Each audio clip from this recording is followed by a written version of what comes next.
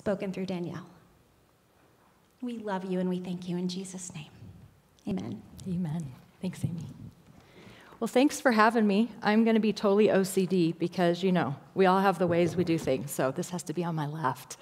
Um, ooh, it's heavy. Now you're going to see me like work out a second. All right. Um, as Amy said, my name is Danielle Reeves. I'm the lead pastor at a church called Resilience Church in Littleton, Colorado, and longtime friend of Mike and Christy's. Um, Resilience Church launched on October 15th, 2020. So I've been in ministry for over 25 years at a large church in Littleton, had an opportunity to plant a church. Um, the plan was not to plant in the middle of the pandemic, as you can imagine, but that's the way that it went. And so we, um, we had a building that we looked at the day the world shut down. And after much prayer and a literal mountaintop conversation with God, uh, we ended up flipping the model, and we now meet in coffee shops after hours in different parts of the Littleton area and then um, reaching out to, to Aurora as well. So it's been an amazing experience, an amazing opportunity to get to uh, partner with people. We have a lot of people that come that don't have a faith or um, something has happened, that there's been some pain that has happened in our in our faith community, um, not our broader faith community, and um, so meeting inside a coffee shop is a little bit safer for them. So it's it's just been a real joy. You all are partners of ours. We consider you part of our church family. Um, I know you have a sister church, but we are grateful to get to be a part of our broader capital C church that gets to work together to advance God's kingdom. So thank you um, for the invitation to be here. I, um, a few weeks ago, Mike and Christy launched this Abundant Life series, and they talked about John 10 10 as kind of the basis for the series. And so I wanted to put that up again just to kind of keep that in front of us. And that passage says, The thief comes only to steal and destroy. I have come that they may have life and have it to the full. So, as we talk about this idea of the abundant life, I think that sometimes we can get stuck in this space where we think that um, abundance means we have everything we need. As far as um, I, have, I have access to the relationships that I want, I have access to the things that I want. Abundance is everything we need, but it's everything that we need in the person of Jesus. So we can have an abundant life when things are good and when things are bad, when things are hard and when they're full of joy, when we're full of grief and lament and when we're full of happiness and connection. And so, this idea of the abundant life really has to do with this transformation that happens inside of us. It's that kingdom coming in us, it's Christ's kingdom established here, but our transformation as we become more and more, uh, more and more accurate reflections of Him, there's an abundance that comes in that. So, over a nine week period of time, we're in this series on Life Abundant. Two weeks ago, Amelia came and talked about prayer, and she did a great job of setting up um, the Lord's Prayer is kind of a model for prayer. And then last week, Chandas talked about community and the fact that community is a verb, it's an action. There's activity to community as we gather together with other people. This week's topic is on scripture and how to engage it for transformation. So before we dive into that, a couple of side notes. The first is that the staff was telling me when they were choosing which spiritual formation practices to have, that nobody got to pick one that they were good at, and they kind of looked at each other and determined, hey, you need to take this one. I'm curious to know why I got the phone call then to lead on scripture. Um, I'm not sure if I should feel insecure about that. Oh, it's cracking me up. Uh, but what, what I did, it, actually really struck something in me. I have a seminary degree, so I've stud- studied Bible. Um, I'm in a doctorate program, I'm studying Bible some more, and yet Scripture is still a place that can actually create deep shame in me. And so, as we talk about this topic of Scripture, I, I want you to know that we're co journeyers. I'm not an expert, I may have some information to pass along, but I'm part of the same journey that you're on. I'm, I'm part of the journey of learning what it means to love and live like Jesus and what it means to be transformed by His Word. So, let me tell you a little bit about, um, about this shame that I feel. Brene Brown says shame is that warm feeling that washes over us, making us feel small, flawed, and never good enough. My shame around scripture started early. I did not grow up in the church. I came to Christ um, in high school through Young Life. And when those early years, when I um, thought about, when I started showing up, I would show up at like Young Life campaigners group or um, church on occasion. I would show up and I'd have all these questions and curiosity about what the Word of God was saying. And I felt embarrassed because it seemed like everybody else had all the answers. So I, you know, I didn't, I didn't know anything because I didn't, I didn't grow up in that context. And so this shame that washed over me, it made me feel like um, I was supposed to know something to be able to be part of God's story. As time went on and I grew in my faith, the shame kind of shifted into this new arena and really had to do with language. So, when we talk about spiritual practices, another phrase for spiritual practices is spiritual disciplines. So, as I was in college, I went to Azusa Pacific University. I'm learning more about who Jesus is and about his word. And we're talking about spiritual discipline, but that word discipline does not feel good to me. The, the way that it was feeling was that coming to the Word of God then meant that I was coming to receive discipline, that I was in trouble, that there was this, this God that sat on this, this distant throne and he was looking down and had written this book of rules to tell me what to do, and he was waiting to catch me doing all the wrong stuff. So that, that word discipline really impacted me deeply. Even the word um, practice, spiritual practice, threw me off because I, in high school, played basketball, and practice represented you had to show up and do what the coach told you to do, which was a lot of hard work. And if you didn't do it the right way, you got benched. So I had this, this misunderstanding of what it meant to study scripture that was so full of shame, both early on and then later in life. And what's interesting about shame, I don't know if you've noticed this, but shame causes shame, causes shame. We begin to feel shame about the fact that we feel shame. So it's this very cyclical piece. In this season of life, one of the things that I've realized that's happening inside of me is that I'm, I'm viewing the Word of God similar to uh, being in the, in the garden with Adam and Eve. It's this, I'm experiencing God from a skewed perspective. It's when the snake went to Adam and Eve and said, God isn't really who he says he is. He's something different, and if you listen to me, you'll have everything that you need. But that's not real. What's real is God that came in the flesh in Jesus and showed us his transformational power and his love and his grace and his compassion and his justice. So for me, my current journey is stepping out of the garden and the shame that I feel around scripture, around reading God's word, around misunderstanding it at times, and stepping into the freedom of Christ. Brene Brown says if you put shame in a petri dish, it needs three ingredients to grow exponentially secrecy, silence, and judgment. If you put the same amount in the petri dish and douse it with empathy, it can't survive. My hope for us this morning is that we realize that it's okay if we have these places of shame around Scripture.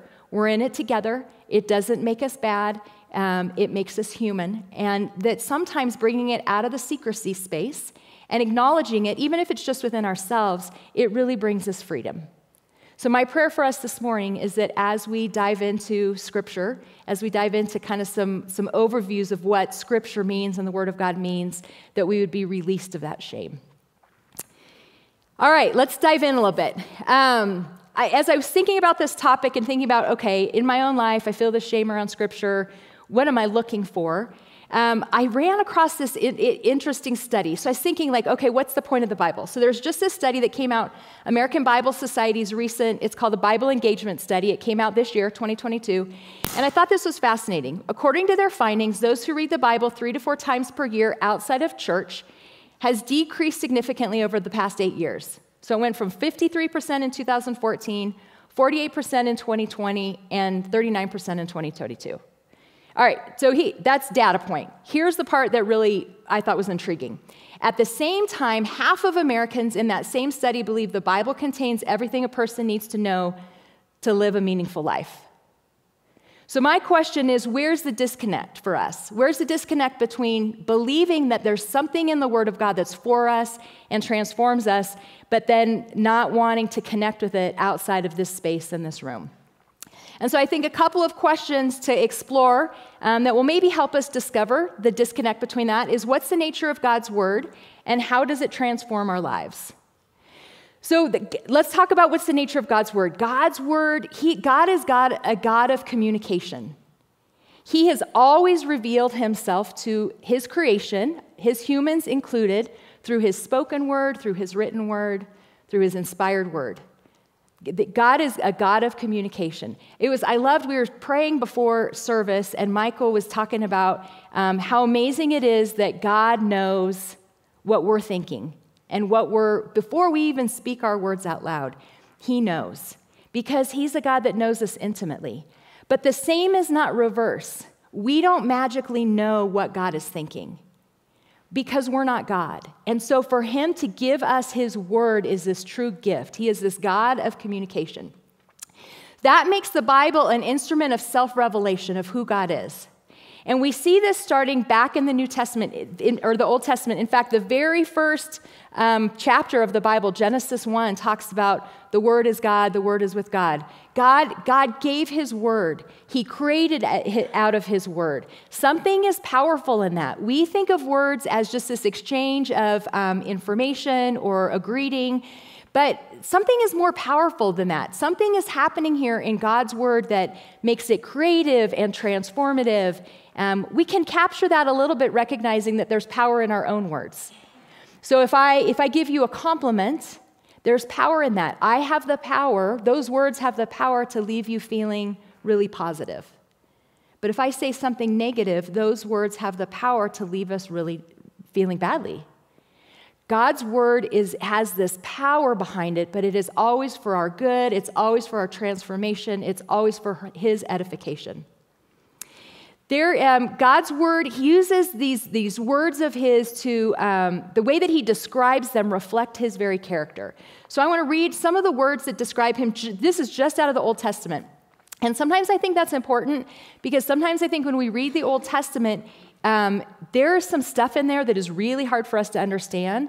And so sometimes the God of the Old Testament can feel like a very different God from the God of the New Testament.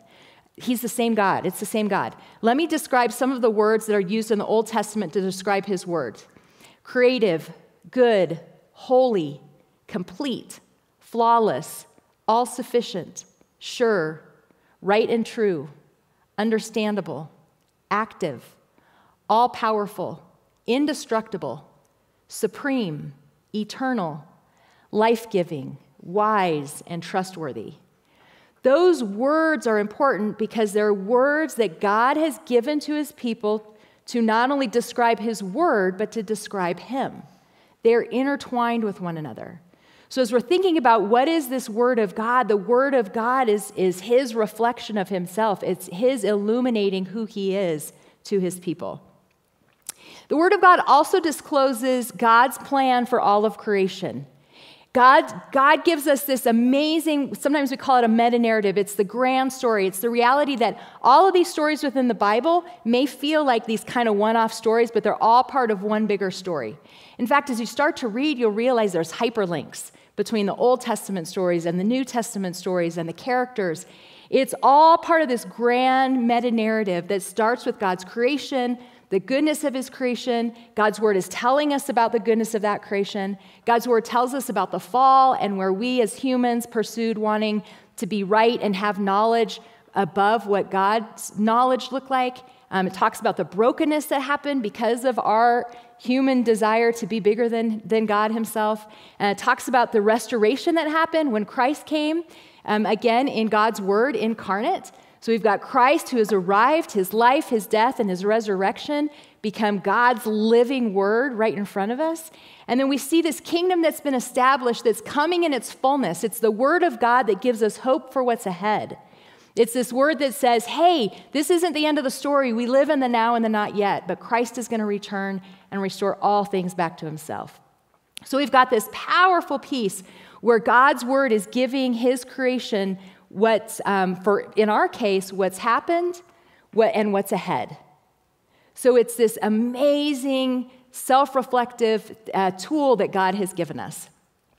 God's word isn't just in the Old Testament, it's in the New Testament as well. That's part of that meta narrative story. And there's, a, um, there's an image that God gives to describe what the word of God is like, and it's the image of a seed. Uh, there's the story of the sower. It's a farmer who's gone out. Um, I think they describe the farmer as a he. So he is he's sowing his seeds. He's throwing them out into the field, and the story describes some of those seeds fall on rock. Some of the seeds fall um, on fertile ground, but then the weeds come up, and some of it um, is on fertile ground, and then those seeds grow. I want to take a minute to read what happens after that because this is one of the few places that Jesus actually tells us what his parable means. And it's about the Word of God. So I think it's important for us today. So um, Luke 8, 11 through 15 says this This is the meaning of the parable. The seed is the Word of God. Those along the path are the ones who hear, and then the devil comes and takes away the word from their hearts, so they may not believe and be saved. Those on the rocky ground are the ones who receive the word with joy when they hear it, but they have no root. They believe for a while, but in the time of testing, they fall away. The seed that fell among thorns stands for those who hear, but as they go on their way, they are choked by life's worries, riches, and pleasures, and they do not mature. But the seed on good soil stands for those with a noble and good heart who hear the word, retain it, and by persevering produce a crop. The implication here is that the word of God is much bigger than we are that we have this desire to taste it and touch it and feel it, but there is some mystery to God's word. There's something that happens that is transformative. Again, it's, it's beyond just this ex- exchange of conversation. It's something that, is, um, that invites us into transformation in the person of Jesus. So, I want to talk a little bit about that. So, we've got a little bit of the nature of God. I want to talk about now that transformation of God's Word. Hearing God's word reaches beyond information about Jesus, about God, to experience the full, powerful action of God. I think that is really vital because I think oftentimes we read the Word of God as if it's just information we're trying to gain. There's nothing wrong with information, but we're missing the fullness of the invitation. We don't just read God's Word to mark it off of our to do list. Mike and Christy talked about this at the beginning of the series that these practices, it's not, these aren't intended to be, um, there's, a, there's a lot of value to creating intentionality in our lives. Intentionality is different from creating a checklist that we, we results in shame. So the goal isn't to, to create this shame, but the goal is to approach God's word and recognize that there's something in there for us. And, and we can go back and read the same passage again and again and again, and what God reveals to us may change. His, his word, if you think about that, it, um, it launches over all of time, all of people, all cultures, and there's something in that that God invites us into again and again and again. So it's, infor- it's not information about God, it's an experience of the powerful action of God. The other thing is that through the practice of reading the Bible, we become active participants in that Word of God. Again, something happens to us. We're not, um, you know, I think about when we go watch a movie and we're watching that movie, and, uh, and I don't know how often this happens with you, but sometimes I like feel like I'm in the movie. Like Top Gun, I now feel like I'm a, you know, I'm a pilot. I'm like zooming through those, those valleys. Uh, we enter into the story, and sometimes we're even transformed by it. Honestly, when Top Gun came out, um, I was in high school. I know that just, just aged me. Um, but when the first one came out, I, and then I guess what I wanted to do? I wanted to go into the Air Force and become a pilot. And I think statistics show there were a ton of people that that was true for. Because we get into movies and those movies like change us, they transform us, they something about us gets us excited about what's going on. The word of God invites us to do the same but even in more powerful ways. So we really want to be active participants in that. And then it's only through our interaction with God, our own transformation, that true flourishing happens. Our flourishing as individuals, but our flourishing as a community occurs when we step into this Word of God, we let it transform us, and we, we try not to get into this stagnant place where we say, well, the Word of God communicated this to me in this period of time, so it has to communicate the same thing to me again and again. We grow and change. And so that word of God is going to change in us. So we want to stay as active participants in this transformative word of God. So then the question is, well, how, how do we do this? And this is, this is the purpose behind these practices. Um, practices are just that. So it's not the shame practice that I was talking about. It's not that if you don't show up for practice, you're going to be benched. It's called a practice because it's okay if we try it and we're like, that, that's not my thing. Or, you know, try it a couple times. I, what is it when you eat a new food? You have to try it like 15 times before you like it. I, let's try some of these practices multiple times before we say, that's not for me. But the idea is just to practice. We're, we, God is this God of grace that invites us to give things a, a shot. Um, he's not standing up there waiting for us to mess up. So there's practice in this. And then the discipline part is that we're all um, more effective when we create intentionality. There's, uh, there was a study done a number of years ago that was that talked about people going to the gym, and it was something like so. One group of people they went to the gym, or they were told, um, "We just want you to go to the gym." The second group of people were told, "We want you to go to the gym and listen to motivational tapes, tapes, whatever." Um, eight tracks. No, I'm just kidding. For those of you too young, those were the old tapes. Um, so they were supposed to listen to, to motivational um, on their iPhones. And then the third group, they were told to create an intentional plan about working out. Group number one were successful, let's say 46% of the time. Group number two, the motivational tapes that actually went down, they were successful like 43% of the time. But those who created intentionality, their success at going to the gym went up to like 90%. So there is scientific studies and sociological studies behind the reality that when we create intentionality, it creates follow through. That's what that, that word discipline means. It's just creating intentionality. So we're going to give you these five practices. Um, I'll talk about some more than others, but just know uh, if you are like me and some of these terminologies um, weigh you down, just know that these are intended for our flourishing. All right.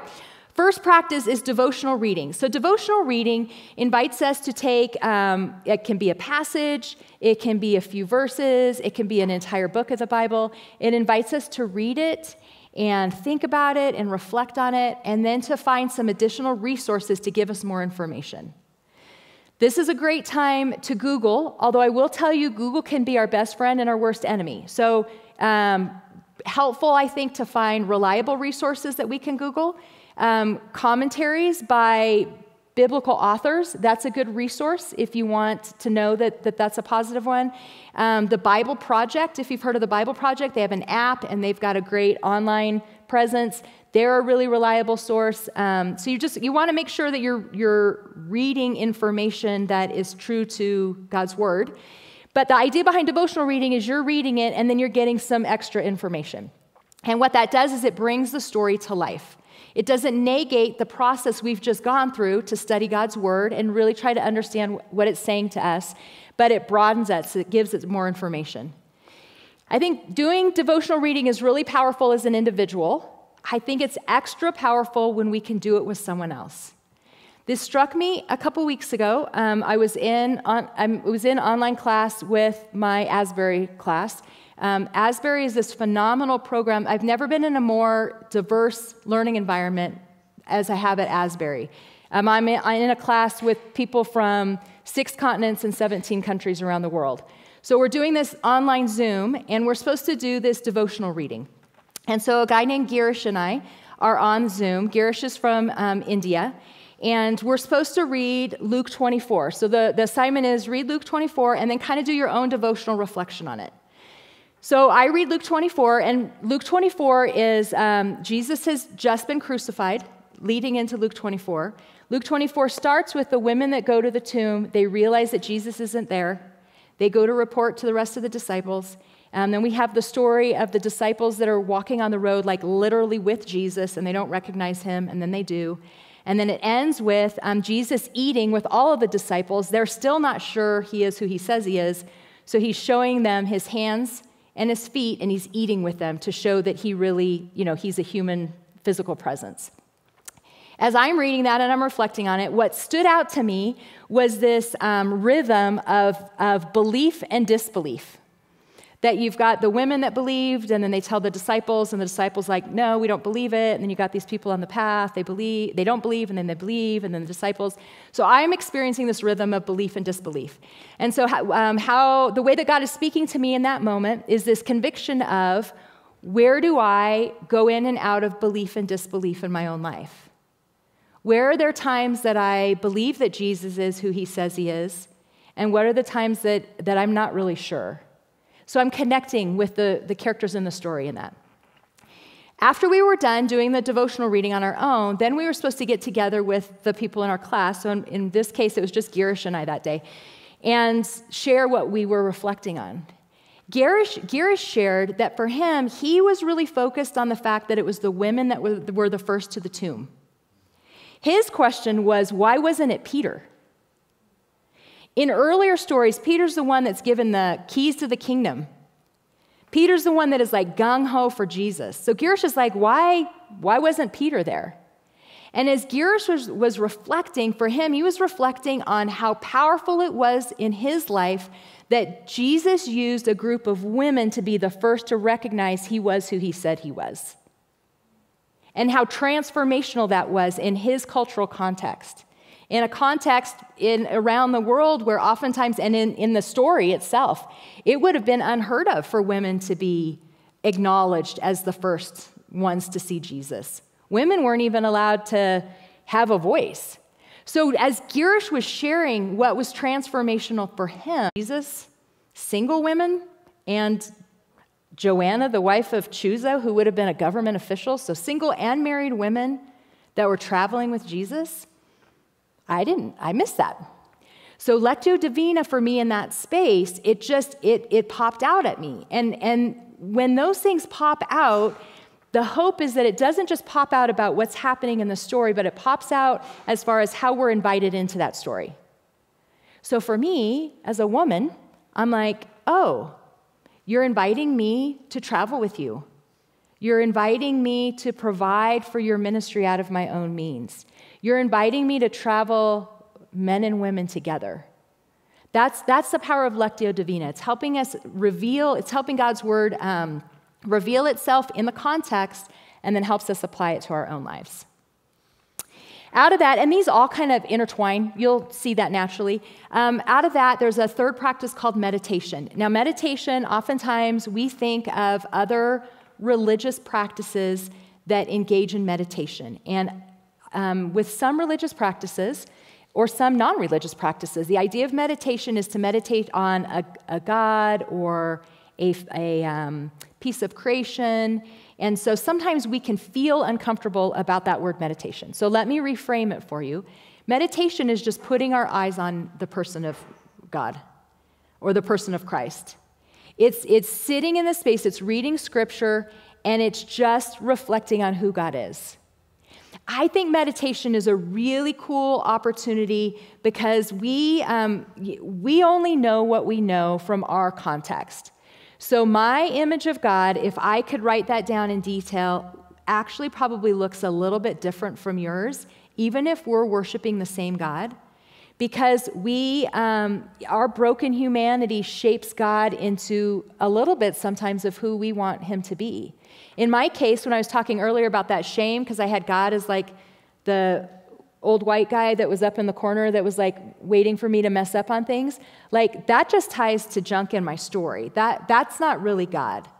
Meditation is an opportunity to really dig into more deeply well, who is this person of God?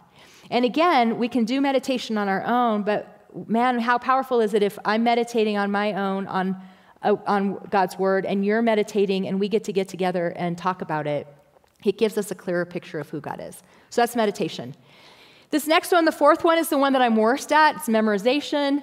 Um, I am ADHD brain, and memorization is my worst nightmare. When I was in high school or college, um, having to memorize history facts and geography the, were the worst. Um, I felt shame every time I went into a test, and I would either totally bomb it or I'd write everything down as fast as I could, and then if you asked me literally 10 minutes later, like I wouldn't remember. So memorization is hard for me. Um, if memorization is hard for any of the rest of you, I have a verse that I'm going to teach you right now. Are you ready? Jesus wept. all right, so now we all have one. We can feel good about ourselves. Um, even though memorizing scripture is hard for me, um, I also see a ton of value in it. So it takes me a lot of work to do it, but the reason I think it's really valuable, that scripture, just like when we memorize a song, and that song comes back to us, we can be hiking, we don't even have to have the music on, we're like reflecting on it. It's the same with the Word of God. When we memorize scripture, it doesn't have to be long, it can be just a verse. If we find some of that key scripture when we're in times of trial, or we're alone, or we're um, full of joy, whatever circumstance we're in, that comes back to us because it's, it's kind of infiltrated our beings. So, memorization is something that I really believe in. I just am terrible at it. So, that's the fourth one. All right, last one I'm going to talk about today is the SOAP method. This is my favorite, actually. It's just the one that I'm drawn to most naturally. Um, SOAP stands for Scripture, Observation, Application, and Prayer. The reason I like this one is because I think it gives um, the fullest understanding. I kind of geek out on deep diving into stuff sometimes. So I think it gives us the fullest understanding of a scripture passage. So if you're really wanting to look at, um, like I was talking about earlier, that passage in Luke, what this does is it starts with reminding us to look at the story not only in its small section, but how does that fit into the story before it and after? We, you know, if we were reading um, Harry Potter and we picked up in the middle, if we didn't read what came before and what came after, what we were reading may not really capture what the story is talking about. So, um, studying scripture invites us to look at what happens before and what happens after, what happens in the entirety of the book that's being written, um, what kind of literature is it. Um, I don't know if you know that the works in the Bible aren't all the same types of literature. Some is poetry, some is narrative, some is um, creation literature, some is historical literature. Just like we wouldn't read a nonfiction book and a fiction book the same way, we need, to, we need to be aware of how we read different types of literature in the Bible. So, this S of SOAP, it just encourages us to look at what's, what's the context of the story, um, who's the author, and what's, uh, what kind of literature is this. All of this is stuff you can Google. The, you do not need to go to school to get all of this. Again, um, there are some great, so one of the best resources is a study Bible. So it's a, it's a Bible, but it just has extra information in it. That's a great way to get all this information. They do a great job of giving you the, the context in that. So that's the S part. O is observation. Uh, we talked a little bit about observation in Lectio Divina, but it's, it's paying attention to things like are there repeated words that are happening in here? or repeated ideas? Um, what questions do I have? I think observation is a great opportunity to approach Scripture as curious learners. I think when we listen to a podcast or, um, we, again, we watch a movie or we read a book, we're constantly asking who are the characters, what's the setting, what's happening in the story. But for some reason, when we come to the Bible, sometimes we freeze. Um, and at least in my own life, I have felt like I'm not supposed to ask any questions.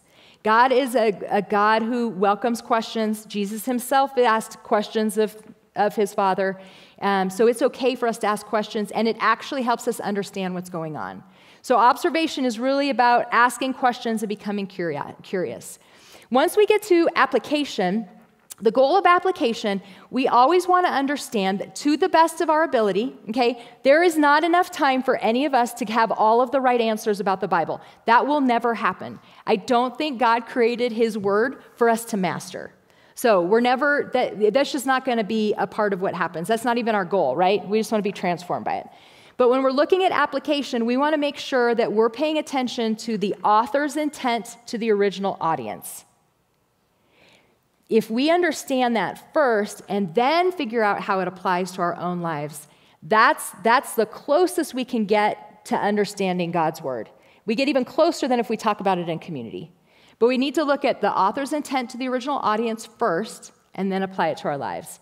Um, that's application. And then the final one is prayer. We, you know, we don't want to just approach God's word again intellectually. We want to be transformed by it. And um, prayer is conversation with God. We don't have to have the right words. It's just uh, dialogue. I talk to God driving down the road constantly, and I have all sorts of questions for Him. Um, he doesn't answer me most of the time. But prayer just becomes this, this opportunity to wrestle with what, what does this mean? And how do I apply this? And how do I, how do, I do this in the context of community? So, um, so that's what SOAP is. All right, so these five methods of reading the Bible, they're, they're intended for transformation. Um, they're intended for really revealing not only God's word as the word, but as the action and then inviting us to be active participants in that word. So um, I want to leave you with a story. Um, I've talked a couple of times about the fact that when we do this individually, it's really powerful, but when we do it in the context of community, it's even more powerful. If you think about the original audience that would have, um, that these stories were, were spoken to when they first happened, um, first thing about those original, that original audience was that um, they did life in community much differently than we do. We're a very individualistic society. I, there's no judgment on that. That's just we're wired more individualistically. Their entire community would have done things together. It would have been extended family. We would have all been listening to the Word of God at the same time. And we would have been listening to it because it wouldn't have been written at that time. So there's something powerful that happens because if you think about it, if we're listening to the Word of God together and we're passing it on to generation to the next generation to the next generation, there's built-in accountability. So if somebody over on this side of the room says, "This is um, this is what the Word of God is saying," and this side of the room is like, "No, no, no, no, no, that's not what we've heard and been taught," there's positive accountability in that. The same is true when we do life in community and we study God's word in community. It actually takes that shame that we talked about at the beginning of this and it creates the freedom. It brings it out into the open. It helps us to get a, a broader image of God's of who God is. So for me, um, the, this was powerfully. Um, I, I experienced this powerfully a couple weeks back.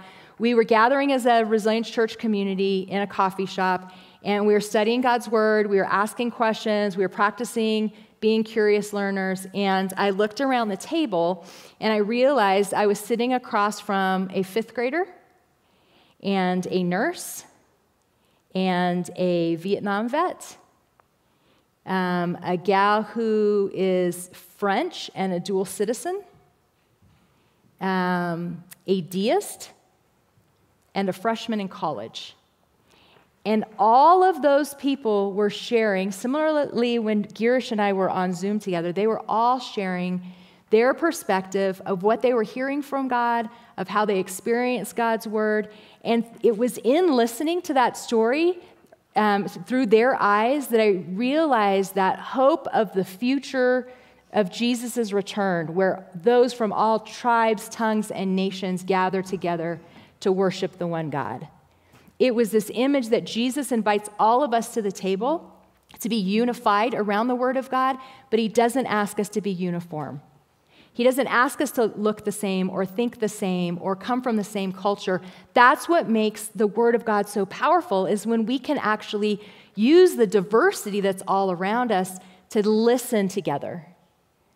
And so that's my prayer for us that we would have that same transformational experience, not just through reading the Word of God, not just through letting it transform us, but letting us transform us in the context of a community of people that look and think differently than we do, because I think that presents the fullness of God's character.